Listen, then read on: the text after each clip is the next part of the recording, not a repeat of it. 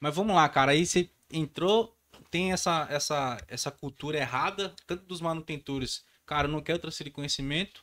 Tanto dos operadores, cara, eu não quero Não receber. quero receber é, também. Não quero receber. E como, esse- como, como que você encontra isso e tenta lidar com Quebrar tipo isso. situação, cara? Cara, assim, o que eu sempre levo, o que eu digo assim é. Você tem que mostrar o valor pra pessoa. Você não vai fazer algo se aquilo não te, te traz valor, se aquilo não vai te trazer. Até sendo meio, não vai te trazer um benefício. Se eu fazer isso, o que, que isso vai me trazer? Aí sim, você vai mostrando para as pessoas, para o manutentor, para o operador, fala, cara, se você começar a aplicar a metodologia, você vai parar de trabalhar correndo, você vai parar de toda hora te ligar, que você entrar de bar de máquina, sujar e tudo mais, e que é a loucura danada.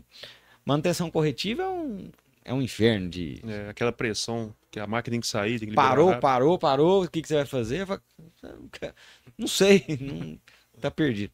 E aí a metodologia, o TPM em si, o que, que ele traz?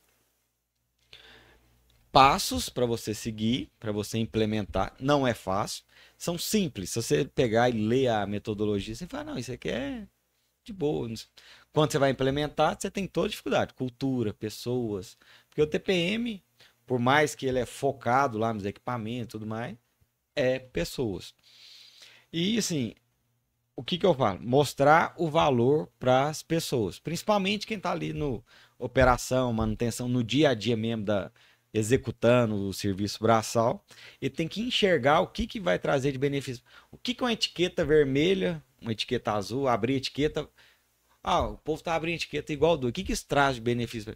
Cara, você tá, ele tá te mostrando que você vai ter um problema daqui a um tempo se aquela etiqueta você não resolver. Então você vai, abre a etiqueta, o cara vai olha fala, não, realmente, se isso aqui quebrar, vai. Além de quebrar aquela peça, vai quebrar tudo mais, não sei o que, vai virar um monte de. que é a loucura toda. Então, é mostrar o valor e o retorno que tem para ele. Então você vai deixar de trabalhar num sábado, num domingo de plantão, que tá todo. E eu já vi, vivenciei isso. 31 de janeiro, 31 de dezembro, Réveillon, Natal, todo mundo de folga, manutenção, tá lá trabalhando, porque não tem tempo para aplicar a metodologia. Então você vai seguindo os passos. Então você implementa o passo 1, um, entende a situação, abre a etiqueta, restaura o equipamento, levanta as quebras, analisa por que que tá quebrando. E o mal do manutentor é não querer fazer a análise de quebra. Quebrou de novo, quebrou. você não foi, você não fez uma análise por fazer só para preencher o formulário ali porque tem que preencher. Cara, é chato fazer uma análise de quebra.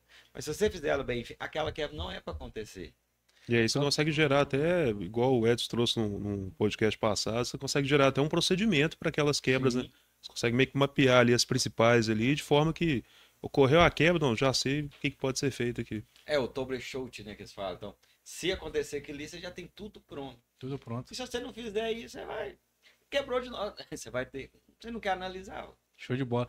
Você que tá no chão de fábrica aí, ou então você que tá começando os primeiros passos na área de gestão de manutenção, olha que legal isso que o, que o Túlio trouxe pra gente, é, cara, as pessoas elas, elas não compram mudanças, as pessoas elas, compram qual benefício que ela vai ganhar com aquela mudança ali, né?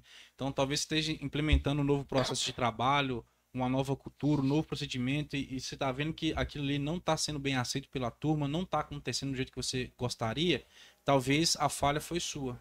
Na hora de implementar essas mudanças, na hora de descer a informação de cima para baixo, você não mostrou de forma tangível qual o benefício que aquelas pessoas ali vão ter se ela fizer aquilo que você acredita, né?